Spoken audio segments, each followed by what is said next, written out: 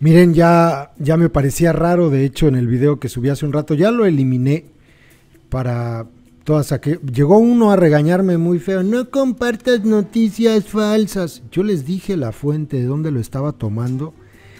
Les mostré tres páginas, bueno, dos páginas y la persona que lo publicó por primera vez. Me refiero a ese video donde se ve ingresar a unas, unos 21 coches más o menos en un lugar que se llama así, condominios de Hacienda Valle Escondido.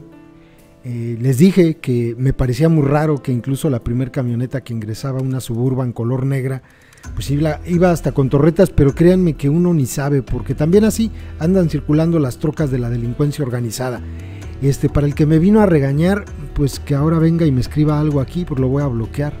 O sea, de verdad, me viene a regañar, pues qué le pasa. Pero bueno, este es el comunicado que publicó la, pues la Asociación de Vecinos, ¿sí? los asociados de estos condominios. Boletín urgente, por medio de este comunicado, es el video que están observando aquí a un lado. Eh, me permito informarles a ustedes que el pasado sábado aproximadamente a las 12.30 am del presente se llevó a cabo un operativo por parte de la Fiscalía General de la República. Minutos antes de ingresar, el C4 municipal reporta vía frecuencia que se encontraba un convoy con varios vehículos, por lo que el JT-13 los aborda a la altura de Galerías Atizapán, acto en el cual dicho convoy se identificó como agentes ministeriales, por lo que una vez corroborado procedieron a ingresar exclusivamente a ese domicilio y retirándose del mismo, aproximadamente a la 1.15 del mismo día, y que por la naturaleza de la investigación no se nos proporciona a este fraccionamiento alguna información adicional.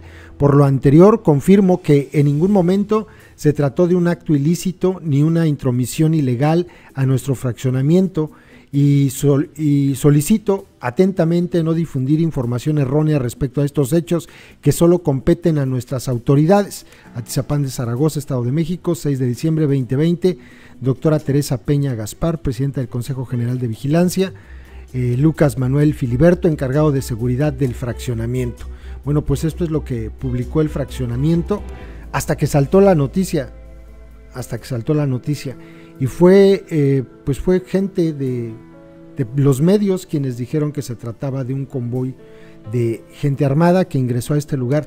Me llama la atención, entraron a hacer un cateo, yo sigo insistiendo, en este lugar, en este fraccionamiento, es donde vive Doneto. Pues que está lleno ahí de narcos.